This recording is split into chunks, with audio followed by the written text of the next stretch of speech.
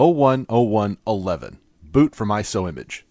Now that we created a normal user account on the ESX server with secure shell access, we can use that account to copy our ISO file or any other files from the physical desktop machine that we have over to the ESX server.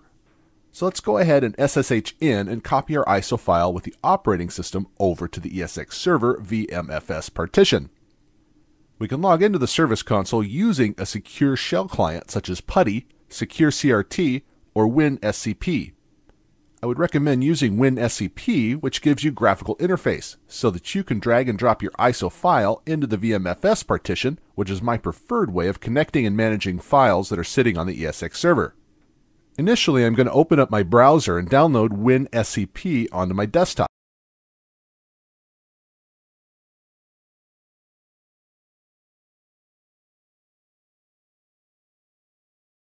Click this will trigger the installation of WinSCP on my workstation. I'm going to quickly skip through the install process, and once it's finished, I'm going to fire up WinSCP, log in, and copy the file.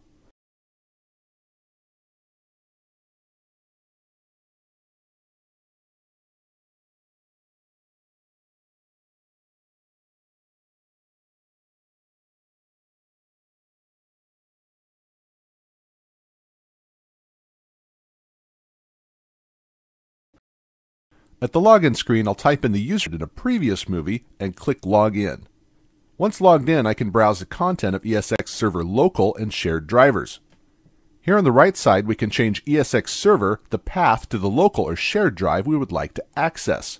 I'll change the directory to root, and then I will select the VMFS folder and then go to Volumes, which is where all local and shared volumes are listed, and then I'll double click on the ISO images, which in my case happens to be a shared SAN LUN.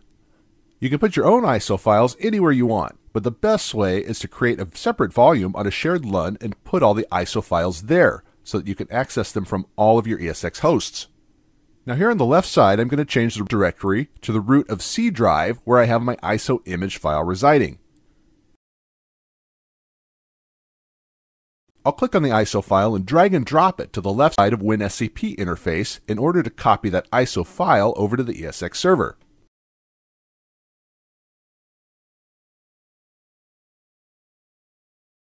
So now that we've got our ISO image over to our ESX server, we can mount it and boot from it with our virtual machine.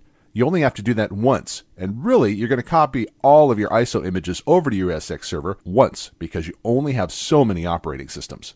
And then you'll be done. And then you can just mount it real quick, and it's much, much quicker and it's faster to build your server. I'm going to right click on my test server 1 and I'll scroll down and let's select edit settings. And I'm going to highlight my CD DVD drive and now I'm going to go down to Data Store ISO file, select Browse, and we put it in VM images slash tools slash ISO images. And this is the one I copied over. Click OK.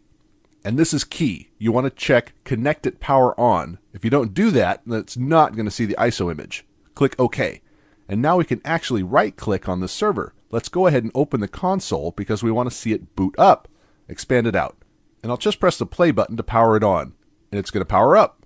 And notice that our option for our CD-ROM isn't up here because we've already mounted it to a particular ISO image. And it boots directly into the boot CD. So that's the best way I think to build your servers from scratch. Now what we're going to get into later on is actually building our server images and then cloning them off because really you don't want to go through this build process every single time you want a server. So we'll take a look at that further down the line, but this is how you would build it from scratch initially.